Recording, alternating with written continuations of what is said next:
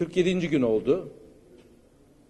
Deniz, Bay, Deniz Bey'in genel durumu ve bilişsel fonksiyonları gayet güzel. Her gün çok daha iyiye gidiyor. Kendisi yardımla ayakta durabiliyor. Sandalyeye oturabiliyor.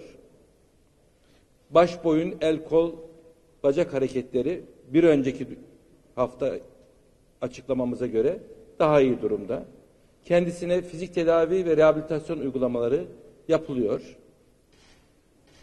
Biliyorsunuz ailenin de isteği üzerine fizik tedavi ve rehabilitasyon uygulamaları için Almanya'da bir merkeze önümüzdeki günler içerisinde gidecek.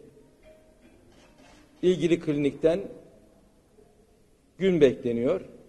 Bildikleri, bildirdikleri gün gidecek ve tedavisine orada devam edecek.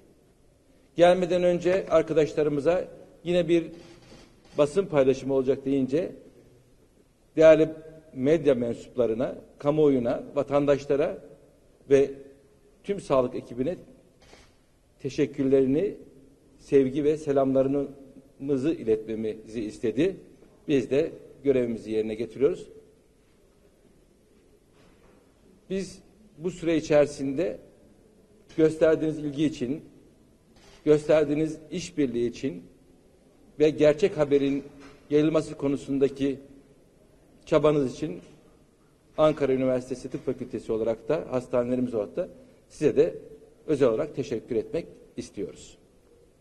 Sorunuz varsa onları da cevaplayabilirim.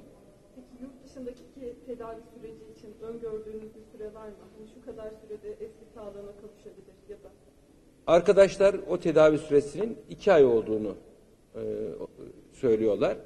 Tabi durumuna göre orada değerlendirilecektir ama yaklaşık iki ay olabileceğini belirtiyorlar.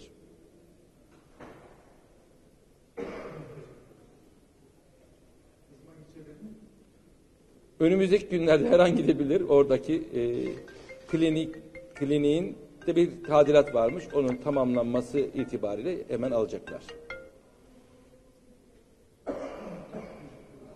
Biz teşekkür ederiz tekrar. İnşallah dönüşünde daha güzel haberlerle beraber oluruz. Sağ olun hepinize. Teşekkür ediyoruz. İyi akşamlar diliyoruz.